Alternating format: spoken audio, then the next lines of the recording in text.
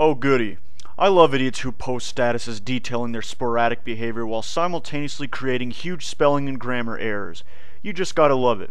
Today's status comes from the same moron who posted his fear of the dark on Facebook. Okay, so I know I'm not the only person out there how was tried to balance the light switch in the middle. Lol, have you. Let me try to sort through this mess in the most organized fashion possible. 1. No, I've never tried to balance a light switch in the middle, mostly because it's a pointless task that yields zero productive results. Only a child would find this amusing. 2. How in the world could you have possibly misplaced the word who with how and has with was? Do you even proofread this crap? Are you so short on time that you just have to mash this status onto the newsfeed as fast as possible?